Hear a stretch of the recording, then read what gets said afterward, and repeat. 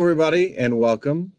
We are live from the KARE 11 Sports Office. The Vikings lose 31 to 28 today in a in a tough, tough uh, game.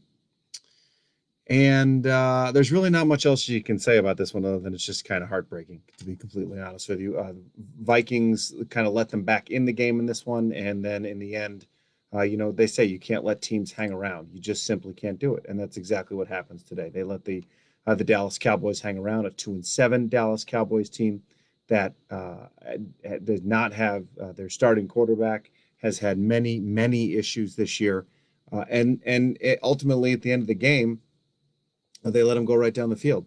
Uh, let's see. Corey says, "What happened? Not good." Um, that's that's pretty much what happened. Uh, they basically just drove down the field at the end of the game, no problem, and, and and they let him hang around, and you cannot do that. Uh, just looking over a couple of statistics real quick. Andy Dalton goes 22 of 32, 203 yards, three touchdowns, and an interception. So there you go. There's your answer. They got beat by Andy Dalton, which is never a good thing. Um, Andy Dalton should not be a, a, quarterback that is beating you. Kirk Cousins, not a terrible day. 22 of 30, 314 yards, and three touchdowns. But ultimately, this comes down to the Vikings defense just not being able to stop um, the offense on the Cowboys side. Zeke Elliott goes for 103 yards, no touchdowns. Tony Pollard had a rushing touchdown. CeeDee Lamb had an unbelievable touchdown catch. Uh, Justin Jefferson did have one touchdown at 86 yards, but was was very much um, outplayed today um, on the other side of the ball by rookie CeeDee Lamb, who is probably making a bid for rookie of the year. I would think at this point it was kind of between the two of those. Sell the team right now. Um, Weston says we lost the Cowboys season over. You know um, that that th- this could ultimately uh, completely derail any chances that they had. I agree. They were slim at this point anyway, um, but they didn't they didn't have much, and that was it. Brianna says she has no words. Justin says go Steelers. Let's see. Defense wins football games. Yeah, and and they didn't today, and they didn't. Uh, but very interesting right now to keep track of the Packers and the Colts game. They are knotted at 31 right now. Three seconds left to go in the fourth quarter. Uh, they're tied at 31. Defense in football games, trade the Vikings for a new team. Penalties killed us. Yeah, some penalties. Pathetic effort. Nice coaching job, Zimmer. Didn't look like you had the players ready to play. Uh, of course, we lost four good players in this team. O line is terrible. Cousins doesn't win this game. Cousins didn't have a terrible day today. He didn't even throw an interception. So, uh, as much as I'd love to blame, although I will say this the, the last play of the game, he, he just overthrew Adam Thielen. I, I, mean, I don't know what happened. I don't know if it was a different route. I don't know. Um, what the issue was, but he had Adam Thielen open. The receive the, the DB was giving him about five yards pad, and he could have hit him, but he overthrew him. Um, no reason to uh, win any games going forward. Kirk isn't the future. Of course, we always blame it on Kirk. Defense is complete garbage. You know what? This defense, and I, am not like a Pollyanna here. I'm not trying to put a positive spin on things, but th- this defense was not the defense that they thought they were going to be playing with this year. And and frankly, the last three games, it seems like they may have overachieved a little bit. Not can't really put my finger on why the Dallas Cowboys were the team to expose them, considering the issues they had coming in. Uh, looks like the Colts and Green Bay are going into overtime.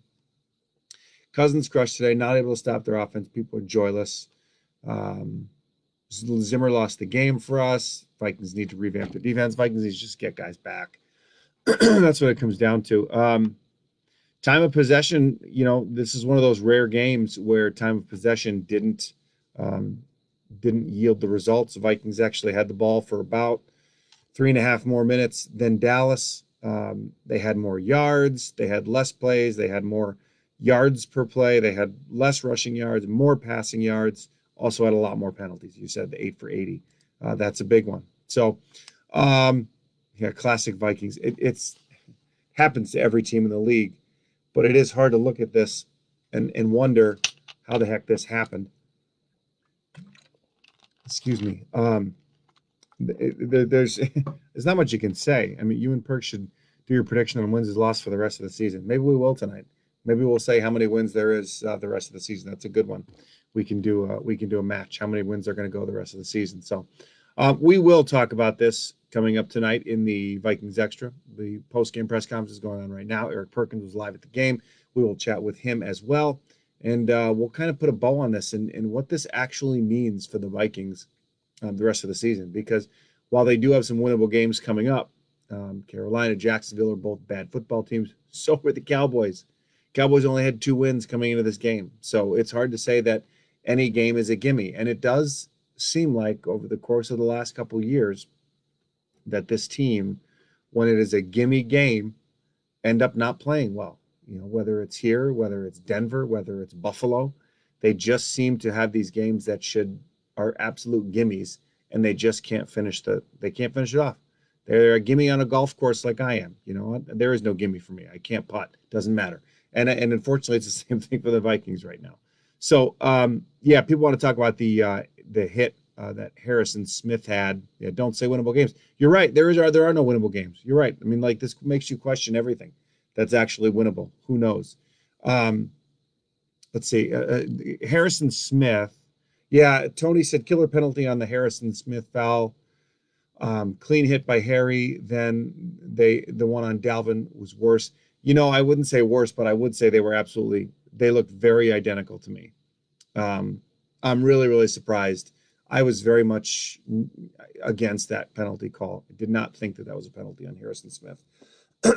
you can't take away he plays the game and he hits hard, and that's part of his game. So, um, so that's where we are. What about our kids playing sports instead of the pros? I know, I know. Um, but this was uh, Vikings uh, football Facebook Live, and that's what we're going to talk about. And unfortunately, today that means talking about a loss. So Vikings lose. Packers and Colts are going into overtime right now, tied at 31. We will talk more about uh, this game coming up tonight at uh, after the Sunday night football game. So we'll see you on the Vikings Extra.